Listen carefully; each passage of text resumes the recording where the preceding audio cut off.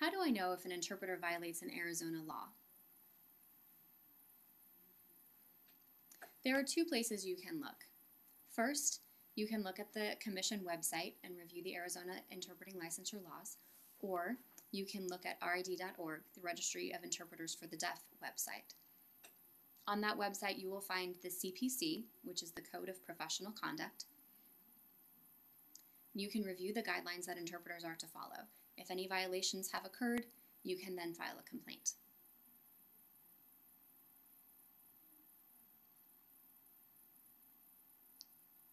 The complaint process involves the interpreting and licensing coordinator first receiving the complaint.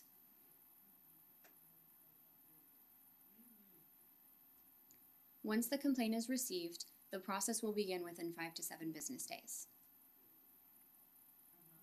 The licensing coordinator will first review the complaint to understand the situation. Once he has done so, he will contact the complainant for more information or to ask additional questions if needed. The licensing coordinator will also inform the interpreter that the complaint has been filed against. The interpreter will then have 10 days to respond after they have received a copy of the complaint. The licensing certification coordinator will receive a response from the interpreter and then will begin an investigation. As more questions come up, the coordinator will send those questions to the complainant or the interpreter. The complainant, interpreter, and witness have 10 days to respond to additional questions.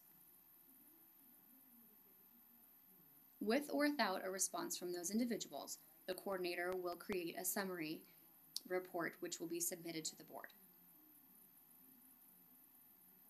The board will discuss the issue and make a decision. Once that decision is made, it will be given to the licensing coordinator who will then inform the complainant and the interpreter of the board's decision.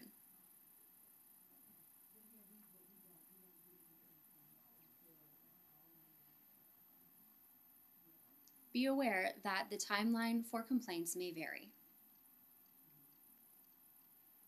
The complainant, the interpreter, and the witness can take up to 10 days to respond. They may also request an extension of time the extension is permitted for um, the purpose of collecting necessary information to make sure that the complaint is processed accurately.